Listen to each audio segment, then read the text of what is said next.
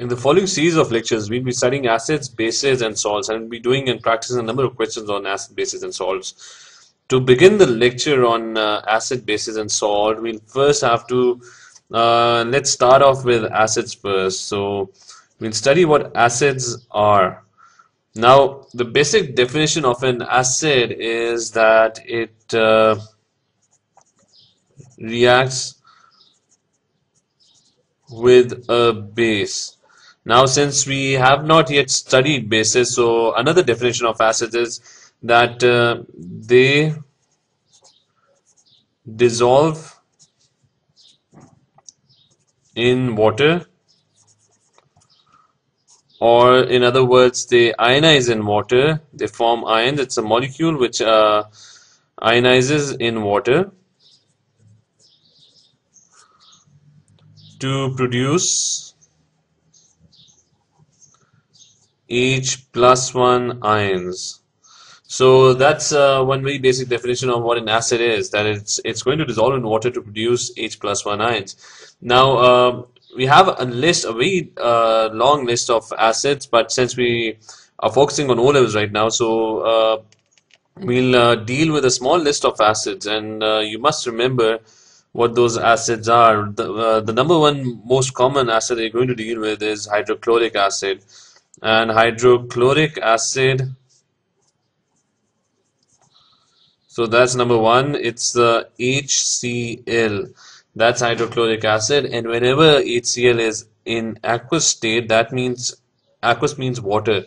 So it means it's dissolved in water. It's going to produce H plus 1 and Cl minus 1 ions. So it's going to break down and produce ions and both of these ions will be present in water. Similarly you have uh, you have nitric acid. Now nitric acid is HNO3 and whenever it's aqueous it's going to produce H plus 1 and NO3 minus 1 ions which is the nitrate ion and both of these ions will be aqueous as well similarly you have uh, you have number 3 at number 3 you have sulfuric acid. Sulfuric acid is H2SO4 and that's also aqueous. And it's going to produce uh, this is also going to break down when, it, when it's in aqueous, aqueous state it's going to ionize and produce H plus 1 ions. And in this case it's going to produce two H plus 1 ions since there it's H2 and it's going to produce one sulfate ion which is SO4 minus 2 so both of these ions are aqueous as well. Uh, then you have uh, phosphoric acid.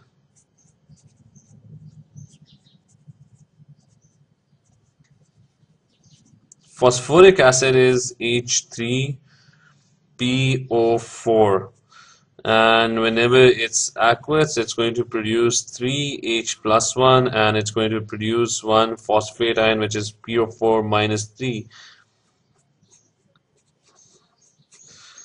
and another acid we're going to uh, study is uh, carbonic acid which is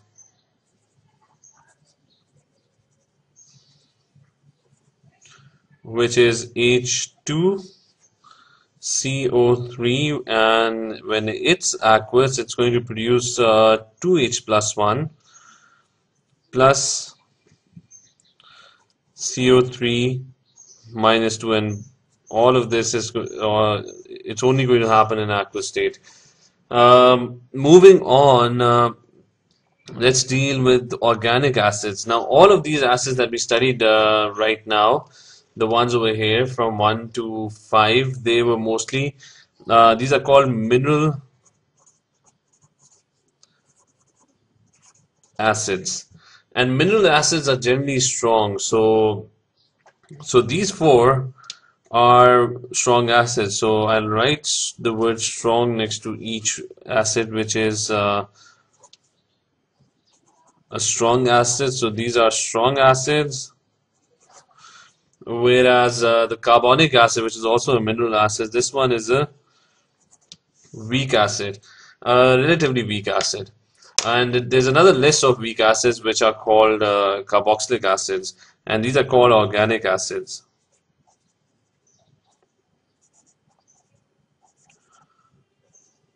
Uh, since um, most of you haven't studied organic chemistry yet, so uh, I'll give you a brief description of how organic acids uh, uh look like. For uh, let's, uh, it's going to look like something like this: COH, where where R could be anything. It could be a molecule over here extending. So I'm just writing an alphabet against it.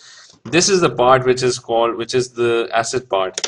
So it's going to, whenever it's aqueous, it's going to break down into its ions and it's going to produce RCO minus 1 plus H plus 1 ions and everything is going to be aqueous. So this is an example of an organic acid which we are going to de uh, deal with in a lot more detail when we are doing organic chemistry.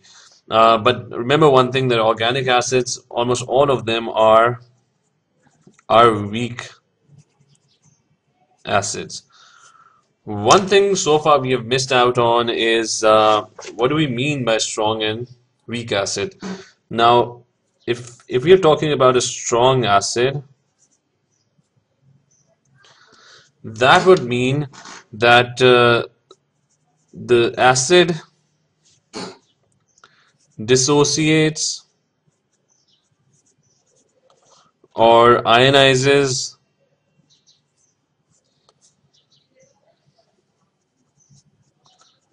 completely to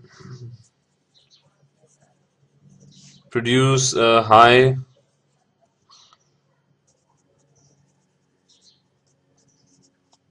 concentration of H plus 1 ion. So, so if an acid, when it's dissolved in water,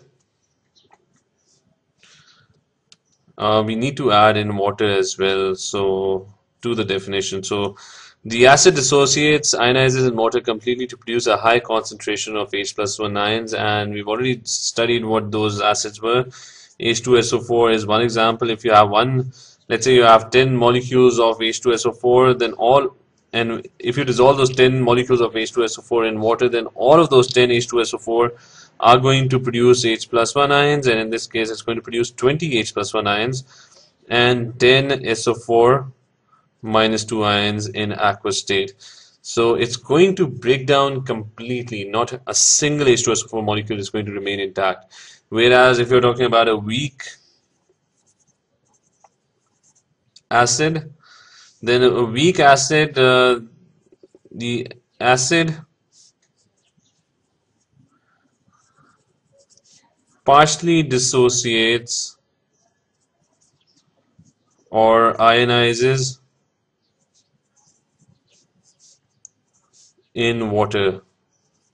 And an example for that is H2SO4. We have already studied what H2SO4 was a weak acid. So H2SO4 is going to produce H plus 1 and CO3 minus 2 ions. But the problem is that if you have 10 H2 CO3, then only 2 are going to produce, uh, 2 of those H2SO, 8 will remain intact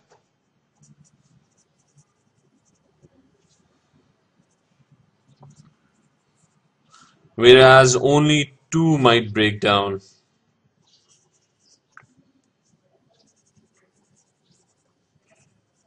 Now this is hypothetical, I'm just explaining what weak acids are. Before continuing further on uh, acids, we first uh, have to give a brief description and intro on bases. Now, uh, let's first, uh, I'll first tell you what bases really are and what kind of chemical compounds are bases most um, metal oxides almost uh, not most all metal oxides and metal hydroxides. Now these are all bases. Some of them are amphoteric and I'm going to later on tell you what amphoteric means but uh, all metal oxides and all metal hydroxides are bases. And what's a hydroxide? A hydroxide is something which has an OH ion. For example, if I'm talking about sodium hydroxide, that's going to be Na and it's going to have an OH ion attached to it. So that's sodium hydroxide. A metal oxide is it has O minus 2 attached to it.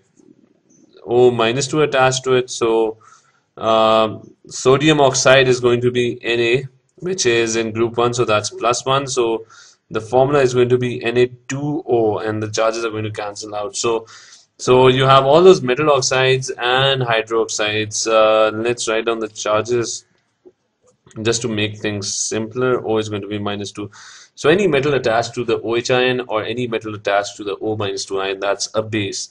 Now what do bases do? The first thing about uh, basic definition of a base is uh, that bases have this property that they react with acids to produce salt and water. So uh, in my next uh, lecture let's uh, go through bases in detail but I'll give you what uh, I'll explain to you later on what a salt is. But uh, bases and acids react and they produce salt and H2O um, we can actually do a little uh, scenario over here. For example I'll take one base which is NaOH and briefly and, and I will take one acid for example HCl now uh, to briefly describe uh, what a salt is a salt is simply you have an acid and if you replace the this is the acid in this equation. So if you have this acid and you replace the hydrogen ion in this uh, molecule by the metal ion from the base which is sodium over here. So this is the salt which is formed. So this is the salt that you get in this case.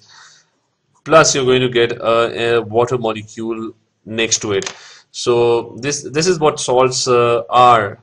Uh, just replace the H with the metal ion in the base and you you're going to get a salt. So this is one reaction, uh, one definition of what a base is. Another very important property of bases is that some uh, very few bases dissolve in water. So a few bases dissolve in water and most of those bases they are they belong to group 1 so generally group 1 um, oxides, metal oxides and hydroxides dissolve in water. For example, sodium oxide is going to dissolve in water to form NaOH which is aqueous. It's soluble in water. So that's one. It's going to form two NaOH actually. Similarly, you will have uh, you will have uh, let's say K2O it's uh, potassium is also in group 1 so it's going to form a soluble hydroxide H2O and it's also going to dissolve in water to form KOH so to briefly give you an idea of how which hydroxides dissolve in water um, here's a small list of hydroxides which are going to dissolve in water. It's NaOH KOH multiple and that also includes rest of the group 1 plus this CaOH2 and you also have BaOH2 barium hydroxide and similarly there's one last which is NH4OH all these hydroxides they are soluble in water. And if they are soluble in water these are called alkalis. Alkalis are bases except the only difference being that they dissolve in water. So these are soluble in water. And they form alkaline solutions are formed when they dissolve in water. So these are called alkalis. And uh, one thing to remember is, if you remember what acids were, acids produced H plus 1 ions. Similarly, alkalis produce OH minus 1 ions when they dissolve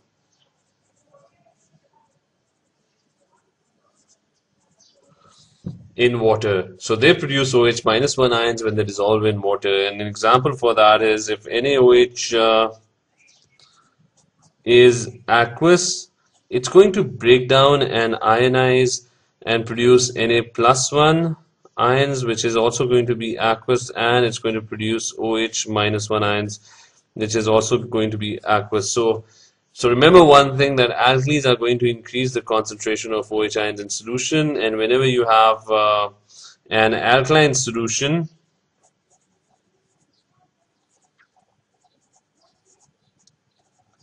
that would firstly mean that an alkali is dissolved in it, and it would also mean that the concentration